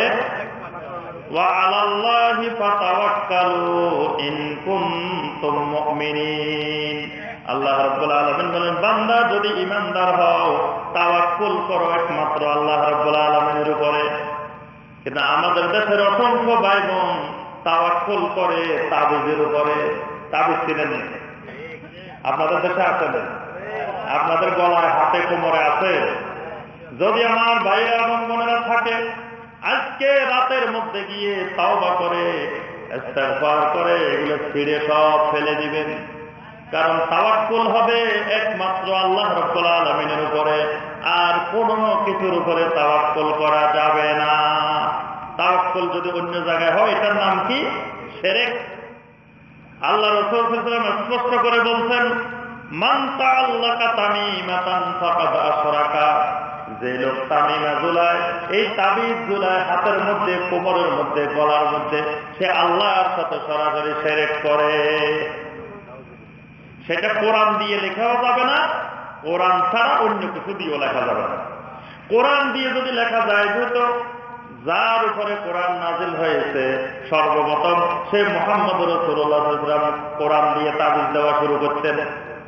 আল্লাহ রসুলাম জীবনে কোনোদিন একজন সাহাবিকে কোরআন আয়াত লিখে দিতেন সাহাবি, তুমি একটু গলার মধ্যে ঝুলে রাখিও, কোমরে ঝুলে রাখিও, হাতে ঝুলে রাখিও, এমন নদীর কোন সহি হাদিসে তো নাই, কোন জাল হাদিসেও আসে না। তাহলে যেই কাজ কোরআনের সাথে আল্লাহ রসুল করেন নাই, সেই কাজ করার অধিকার আমাদের কারও আল্লাহ রসুলের সাহাবিরও এই কাজ করেন নাই। কিন্তু আমরা এখন সবচেয়ে বড় রমরমা ব্যবসা হলো তাবিজের ব্যবসা। তাবিজের ব্যবসার মতো ব্যবসা বাংলাদেশের দ্বিতীয়টা নাই। এই ব্যবসার কারণে এই সেরেক জিন্দা আছে। যদি সেরেকের পিছনে ব্যবসা বন্ধ হয়ে যেত, সেরেক এমনি নির্মূল হয়ে যেত। এটা তো এমনি শেষ হয়ে যেত। আমাদের দেশের অনেক ওলামাই কেরাম দেখবেন মিলাদ পছন্দ করে না, কিন্তু আবার সমাজ থেকে মিলাদও যায় না। কারণ হলো মিলাদের পিছনে কিছু ইনকাম আছে, টাকা আছে। মিলাদ যদি বন্ধ হয়ে যায়, খতম যদি বন্ধ হয়ে যায়, তাবিজ যদি বন্ধ হয়ে যায়, তো ইমাম সাহেবের ইনকামে তো বন্ধ। এই জন্য আমার এলাকায় অনেক জায়গায় মাহফিলে গেলে আমাকে বলে ইমাম সাহেব ইমাম সাহেবেরা বলে, মসজিদের ইমাম খতিবেরা আসি এসে বলে, ভাই, ইমাম ভাই, সব বিষয় বয়ান করিয়েন। এই বিষয়গুলো একটু বয়ান করিয়েন না। কারণ আমাদের রুজি রোজগার জীবন ফল এইগুলা দিয়ে এগুলা যদি বন্ধ করে দেন, আমরা খামো কি করি? আমাদের খাবার রাস্তায় তো বন্ধ। আপনি খবরদার আমাদের রিজিকে একটু আঘাত দিয়েন না।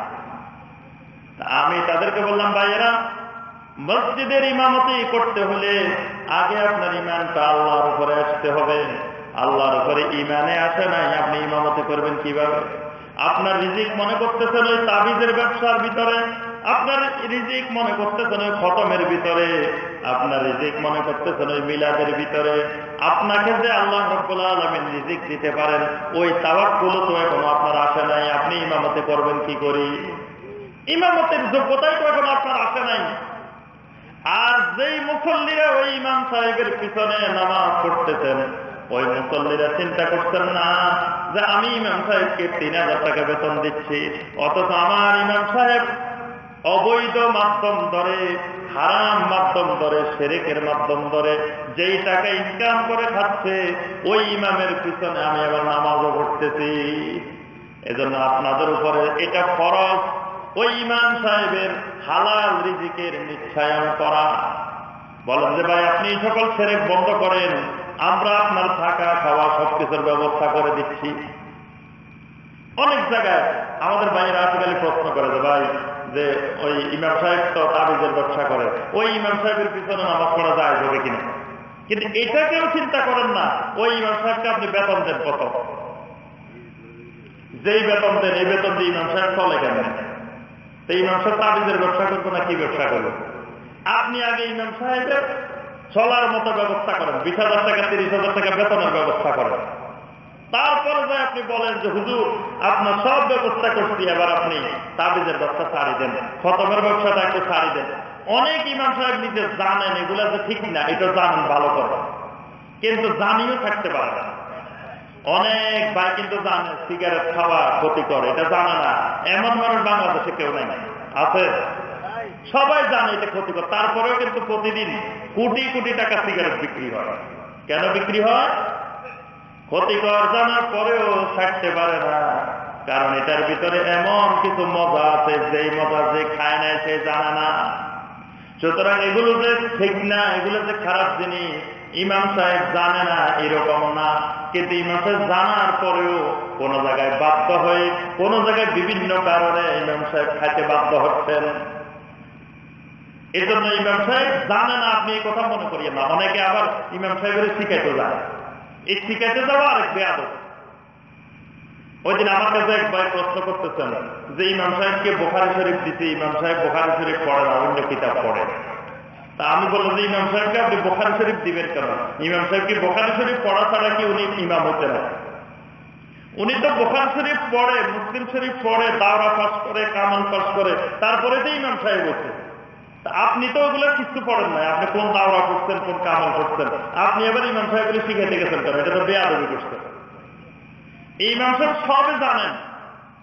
জাগ্রত মানুষ ঘুমাই থাকলে ওনাকে আপনি কোনোদিন জাগাইতে পারবেন না। ঘুমন্ত মানুষ যদি হয়, ওনাকে আপনি জাগাইতে পারবেন এই জন্য এক ইমাম চ্যালেঞ্জ করছে আমার এলাকায়। যদি কোনো আলেম, কোন মানুষ যদি আমাকে এসে দেখাইতে পারে, কোন হাদিসের ভিতরে আমিন জোরে বলা আছে, আমি তারে এক লক্ষ টাকা দিব চ্যালেঞ্জ করলাম।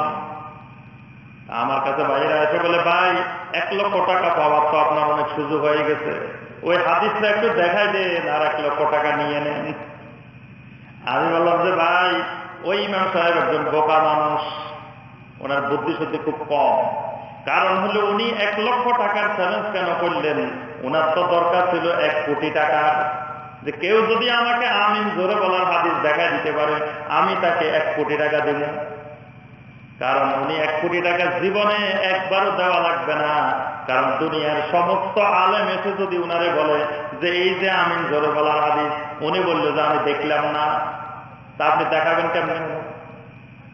ওনার যদি সবাই বলে যে দেখেন, এটা তো এখানে আমিন জোরে বলার হাদিস আছে, বাপ আছে, সব আছে। উনি বলল যে, আমি শুনলাম না, আমি বুঝলাম না। তা আপনি বুঝাইবেন কেমনে?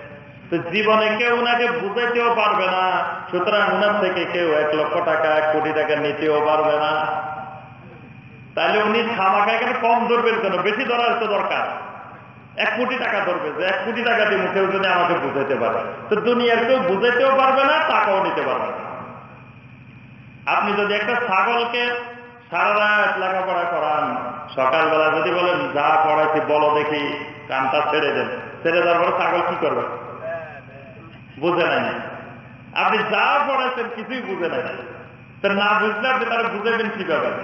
এই জন্য ওনারা হলো যারা বুঝেন না বা বলেন যে আমরা এটা পাই নাই, ওনারা হলো জিন্দা মানুষ ঘুমাইতেছে, জাগ্রত মানুষ ঘুমাইতেছে। এই জন্য আপনারা জাগাইতে যাইয়েন না। যেমনি ঘুমাইতেছে এমনি ঘুমান। আমরা আমি অন্য জায়গায় বলি যে যিনি এই হাদিস পান নাই, ঠিক আছে, উনি আমল করবে না।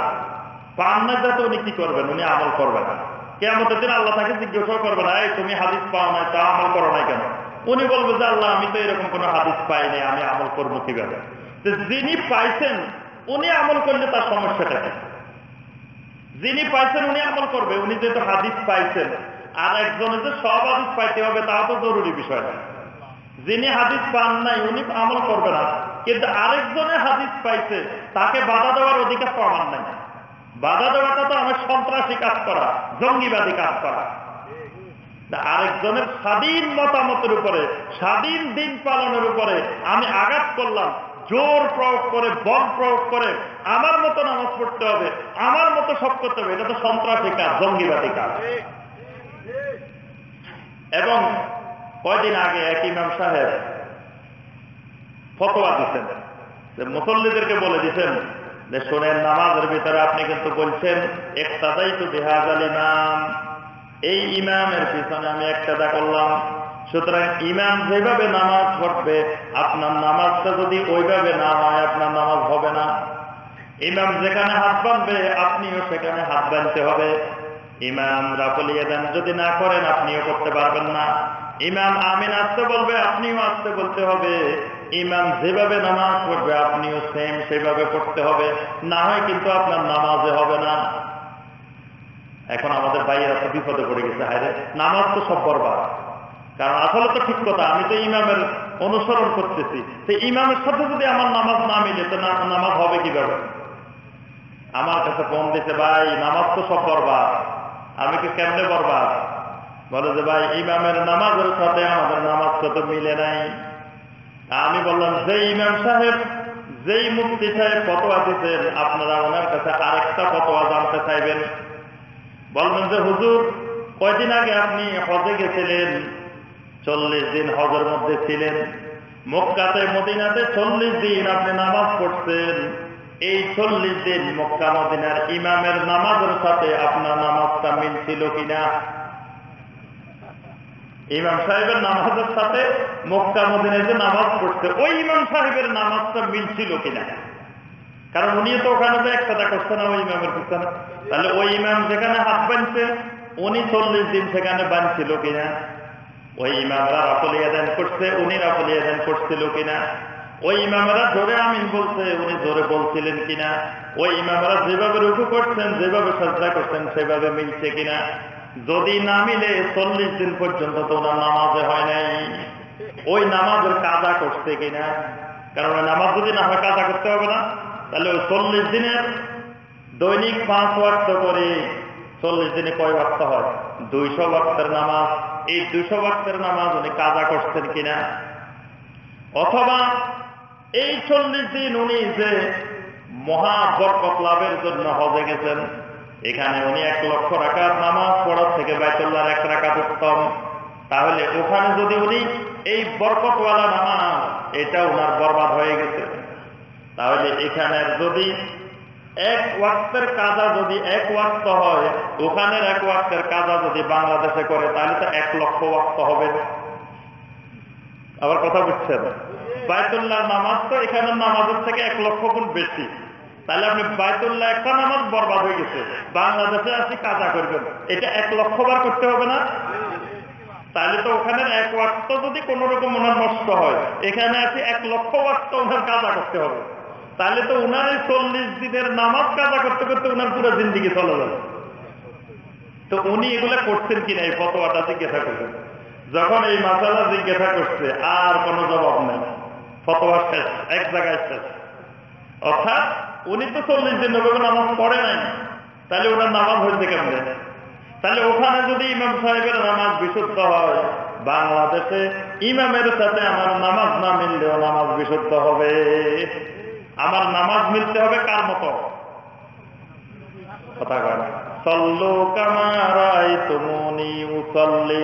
আল্লাহ বলেন, ও আমার উম্মতরা, নামাজ পড়ো, আমি রাসুল জানলে নামাজ পড়ি। এবাদত করবেন, আমল করবেন, রাসুলের মতো। ইমান আনবেন কার মতো?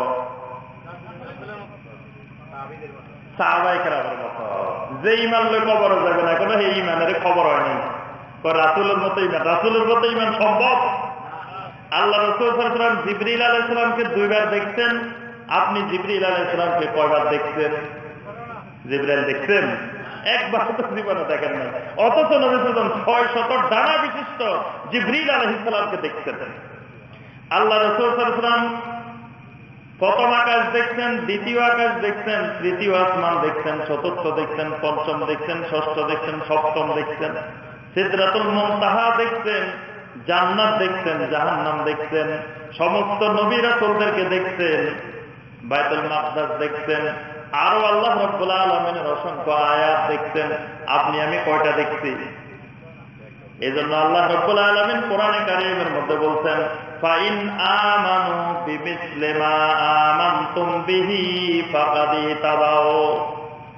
যদি তাদের ইমানটা তোমাদের ইমানের মতো হয়, সাহাবাই কেরামের ইমানের মতো হয়, ফাকাদি দাও তাহলে তারা হেদায়েতের উপরে আছে।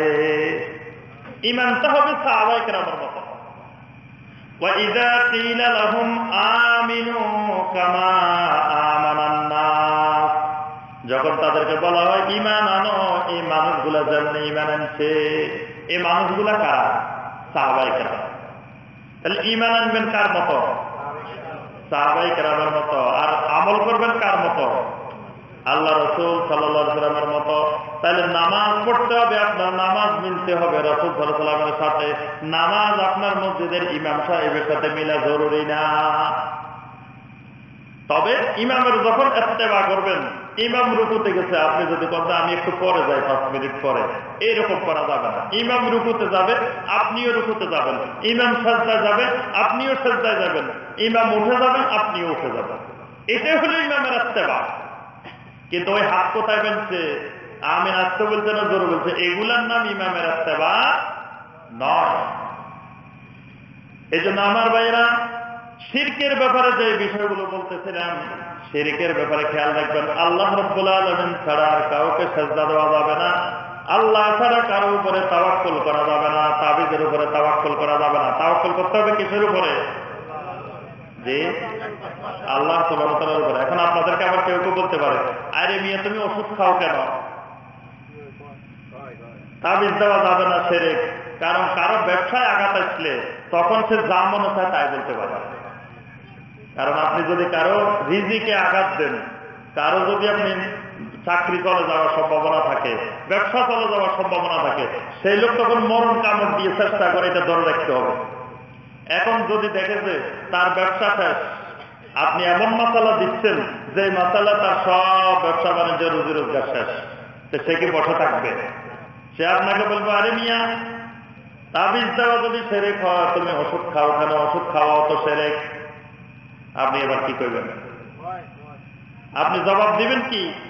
জবাব দিবেন, ওষুধ খাবার তাবিজের মধ্যে অনেকগুলো পার্থক্য আছে, দুইটা এক জিনিস না।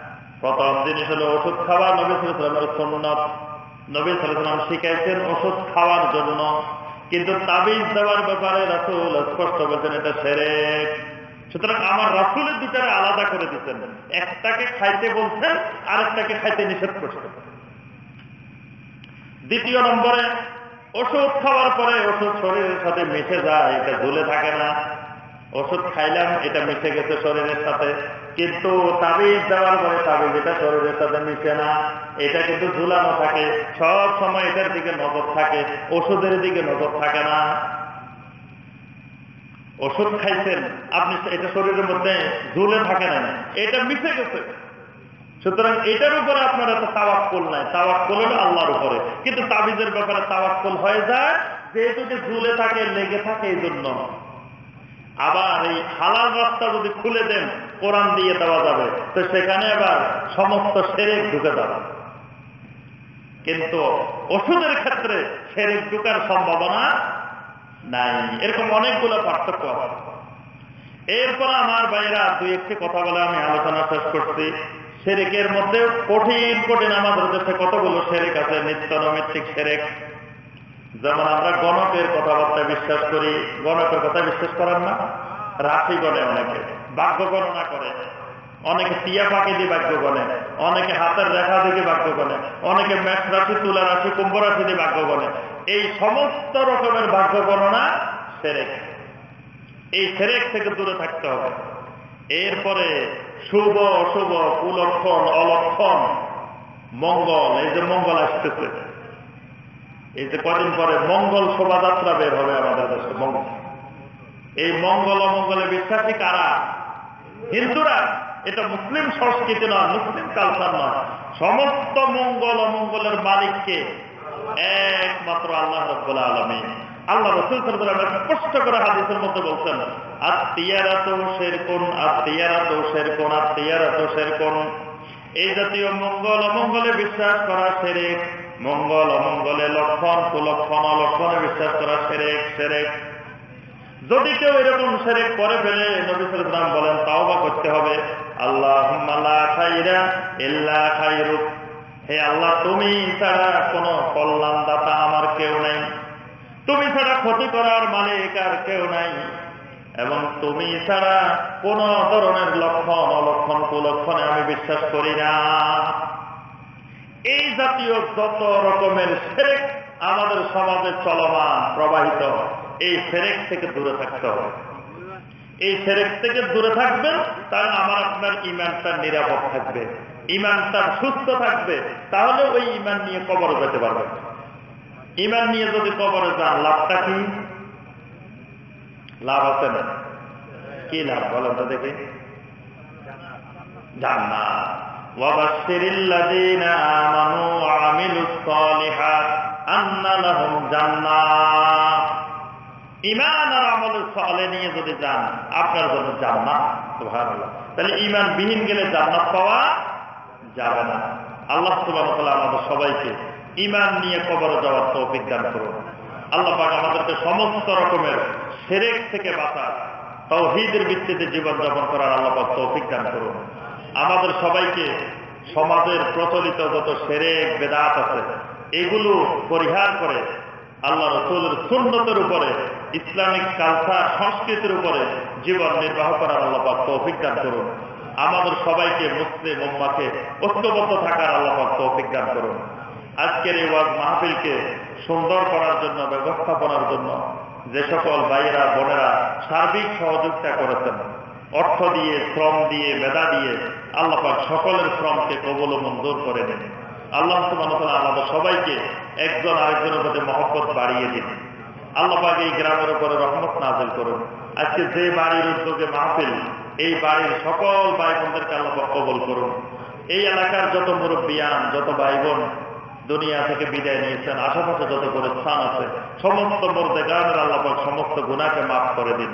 সবাইকে আল্লাহ পাক আজাবে কবর আজাবে নার থেকে হেফাজত করুন আল্লাহ রব্বুল আলমিন আমাদের সবাইকে দুনিয়া যতদিন বেঁচে থাকে ইসলামের উপরে বেঁচে থাকার এবং দুনিয়া থেকে বিদায় নেওয়ার সময় ইমানের সাথে বিদায় নেওয়ার তৌফিক দান করুন আমিন ইয়া রাব্বাল আলামিন سبحانك اللهم بحمدك أشهد أن لا إله إلا أنت أستغفرك وأتوب إليك এই দোয়াটা পারেন না আপনারা এটার নাম হলো কাপ্পারাতুল মাজলিস এই দোয়াটা যে কোনো মাহফিলে, যে কোনো বৈঠকে, যে কোনো জায়গায় বসবেন, উঠার সময় এই দোয়া পড়তে পড়তে উঠে যাবেন। তাহলে আল্লাহ এর ভিতরে যত গুণা হয়ে যাবে, ভুল ত্রুটি হয়ে যাবে, এই সবগুলোর জন্য এটাকে কাপ্পারা বানা দিবে তো ভান এই দোয়াটা আমার সাথে একবার পড়েন, আর পরে এটা মুখস্থ করে দিবেন সুবহানাকা। আল্লাহুম্মা। ওয়া বিহামদিকা। আশহাদু আল্লা ইলাহা আনতা আস্তাগফিরুকা ওয়া আতুবু ইলাইক এটাই হলো সুন্নাহ। যে এটা বলে ওয়াজ মাহফিল আলোচনা সব শেষ হবে। নবী আলাইহি ওয়াজ মাহফিলের শেষে সবাই মিলে সম্মিলিত ভাবে মুনাজাত করেন নাই। কিন্তু আমাদের দেশে অনেকে ওয়াজ মাহফিলে আসেই মুনাজাতের জন্য। পয়সা সে একটু দোয়া দোয়া হবে, একেবারে লম্বা দোয়া। এই দোয়া যত স্ট্রং হবে দোয়া যত লম্বা হবে, দোয়া যত স্ট্রং হবে, ওয়াজ মাহফিলও তত স্ট্রং মানে কি আলোচনা হচ্ছে ওটা মূল বিষয় না। মূল বিষয় কি? দোয়া। মানুষ সব দোয়ার জন্য বসে থাকে। পয়সা এসে দোয়া হবে, দোয়া আছে। দোয়া দোয়াটাকেই ওয়াজ মাহফিলের থেকে বেশি গুরুত্বপূর্ণ মনে করে। আর ইসলামে একটি গুরুত্বপূর্ণ বেদাত হল, কম গুরুত্বপূর্ণ জিনিসকে বেশি গুরুত্ব দেওয়া। আর বেশি গুরুত্বপূর্ণ জিনিসকে কম গুরুত্ব দেওয়া। এটা আরেকটা বেদাত। এই জন্য এখানে ওয়াজ মাহফিলে আসার উদ্দেশ্য কি? জন্য আসছেন আপনারা? যে এলএম শিকার জন্য, এলমের উদ্দেশ্যে আসছেন, জ্ঞান শিকার জন্য, কোরআন সুন্না থেকে কিন্তু দিন শিকার জন্য। এখানে ওই দিন শিখের ফাঁকে ফাঁকে দোয়া সব হয়ে গেছে। আপনার আরাফাতের ময়দানের যে দোয়া, যেটাকে নবিসাম খাইরুদ দোয়ায় দোয়া ও আরাফা আরাফার দোয়াটা হল সর্বশ্রেষ্ঠ দোয়া। এবং সমস্ত নবীরা আরাফার ময়দানে এই দোয়াটা বলতেন। দোয়াটা কি? আছে,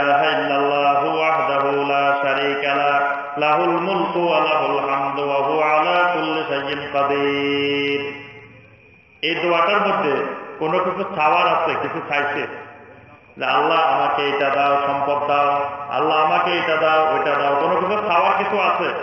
কিছুই চায় নাই, খালি আল্লাহর গুণগান গাইছে তাও হিদের স্বীকৃতি দিছে। এটাকে বলা হচ্ছে সর্বশ্রেষ্ঠ দোয়া। আপনি যখন আল্লাহর গুণগান গাইবেন, আল্লাহর জিকির, আল্লাহর কোরআন নিয়ে আলোচনা করবেন, দিন নিয়ে কথা বলবেন, এটাই সর্বোত্তম দোয়া। আল্লাহ পাক জানেন আপনার কি কি দরকার। জানেন না? আপনার কালকে কি কি দরকার? সকালে কি দরকার? কালকে কি দরকার? এগুলো কি আল্লাহ তোমার জানেন না? তা আল্লাহকে আপনি বুঝাই দিতে হইব যে আল্লাহ, কালকে আমার এক পাঁচশো টাকা দরকার না বাজার করব কীভাবে? এটা আল্লাহকে বুঝে দিতে হবে। আল্লাহ জানেন কালকে যে আপনার বাজারের টাকা নেন। কালকে যে আপনার কি দরকার, সব জিনিস আল্লাহ সুবাহ জানা আছে। আপনি খালি বসে বসে আল্লাহর গুণগান গাইবেন আল্লাহ জিকির করবেন।